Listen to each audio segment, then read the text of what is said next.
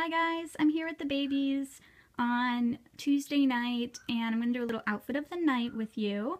I was going to make it pajamas all the night but in the, of the night, but they're not all in their pajamas. So um, I've had them in these outfits for a few days now and uh, I'm going to show them to you. You might have seen them on my Instagram if you follow me there. But let's start with Lena. She is wearing this little Minnie Mouse onesie and Gymboree pants and this little jacket. This is actually from an outfit of Belle's and I put it on her because it's supposed to be negative six degrees tonight and she's wearing a short sleeve onesie so I had to put some kind of jacket on her and I thought the color fit her pants the best and she's wearing the matching scratch mittens to that jacket.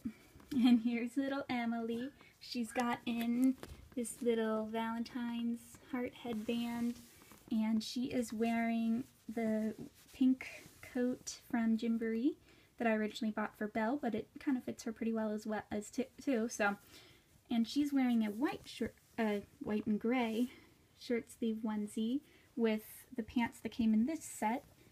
Uh, I know they don't really match, but you know I wanted to mix up some color. And she is wearing some light pink scratch mittens as well. And over to Talia. She is wearing the pajamas in that same set. They're all from one of the brand new baby sets with the hot air balloons. And she's wearing the pajamas that have built-in scratch mittens, but her hands are so big that they almost don't fit. And I just noticed that her blanket kind of resembles this. The blue on the trim resembles the blue, right, the darker blue on the hot air balloons. And the pink kind of matches the pink on some of the hot air balloons as well. She's happy as ever. And Alistair is basically wearing what he wore yesterday, only I changed him into his Mickey onesie. And he's wearing the gray pants and the little preppy socks. Uh, I put the onesie on Instagram and someone snatched it right up, so uh, it didn't fit him right, and so someone is going to buy it. So and little Belle, she is wearing this two-piece Carter set.